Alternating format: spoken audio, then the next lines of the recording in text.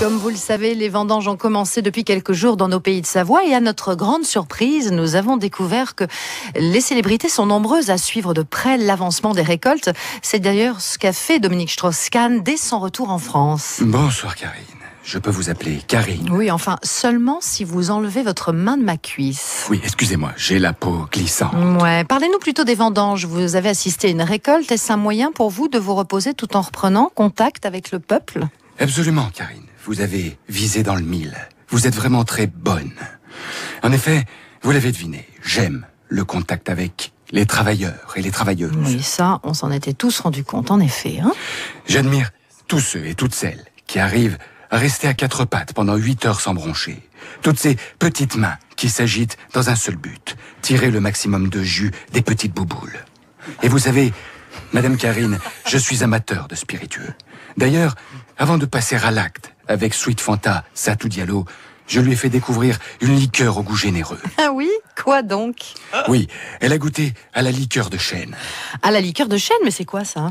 C'est un liquide qu'on obtient en suçant mon gland, Karine. C'est horrible. On va plutôt demander à quelqu'un qui est aussi raffiné qu'aviné ce qu'il pense des vendanges en pays de Savoie. C'est Gérard Depardieu.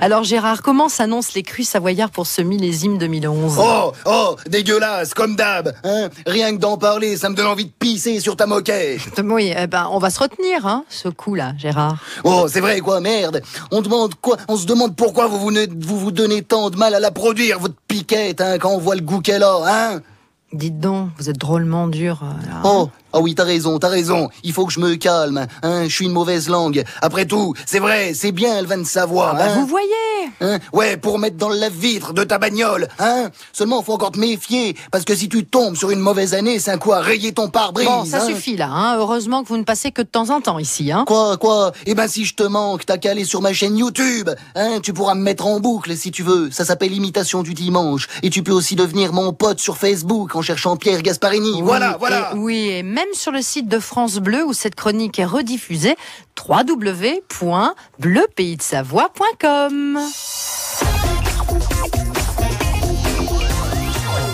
Vous êtes chaud comme une baraque à frites, hein, vous, ce soir, C'est Pierre. l'actualité qui m'inspire, vous Ah savez. bah oui, ça je vois.